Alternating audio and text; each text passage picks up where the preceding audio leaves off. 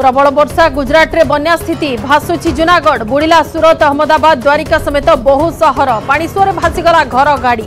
ବିମାନ ବନ୍ଦରରେ ବି ପାଣି ଉଦ୍ଧାର କାର୍ଯ୍ୟ ଜାରି। ସେପଟେ ବିପଦ ସଂକେତ ଟପିଲା ଯମୁନା ଦିଲ୍ଲୀକୁ ବନ୍ୟା ଡର।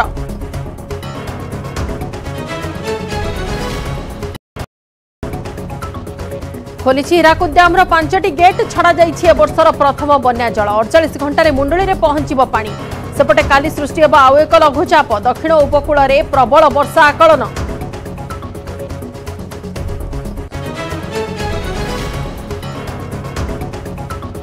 ଚବିଶରେ ସରକାରକୁ ଫେରିବାକୁ କଂଗ୍ରେସର ରଣନୀତି ବ୍ୟୁରୋକ୍ରାଟ କରିବେ ପ୍ଲାନ୍। ଗ୍ରାସରୁଟ୍ରେ ପହଞ୍ଚିବେ କର୍ମୀ। କଂଗ୍ରେସ ଶାସିତ ସରକାରରେ ଲାଗୁ ହୋଇଥିବା ଯୋଜନାକୁ ନେଇ ଓଡ଼ିଶାରେ ପ୍ରସ୍ତୁତ ହେବ ବ୍ଲୁପ୍ରିଣ୍ଟ ପିସିସିର ମାନସ ମନ୍ଥନ।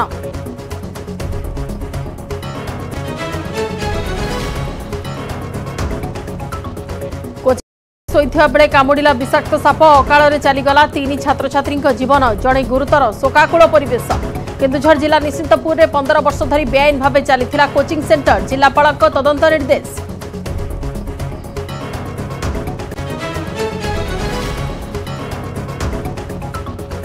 ବଞ୍ଚିଗଲା ଜୀବନ ସାତ ଘଣ୍ଟାର ଅପରେସନ ସକ୍ସେସ୍ ବିହାର ନାଳନ୍ଦା କୁଲ ଗାଁରେ ବୋରୱେଲ୍ରେ ଖସି ପଡ଼ିଥିବା ତିନି ବର୍ଷର ଶିଶୁ ଶିବମ ଉଦ୍ଧାର ହସ୍ପିଟାଲରେ ଭର୍ତ୍ତି ଏନ୍ଡିଆର୍ଏଫ୍ କହିଲା ରେସ୍କ୍ୟୁ କରିବା ଥିଲା ଚ୍ୟାଲେଞ୍ଜପୂର୍ଣ୍ଣ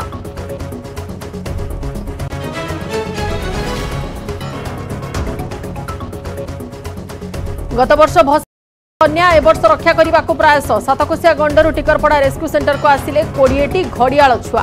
ତଦାରଖ କରିବାକୁ ଡାକ୍ତର ଓ ବିଶେଷଜ୍ଞ ନିୟୋଜିତ ନିୟମିତ ସ୍ୱାସ୍ଥ୍ୟ ପରୀକ୍ଷା ସହ ଦିଆଯାଉଛି ଖାଦ୍ୟ।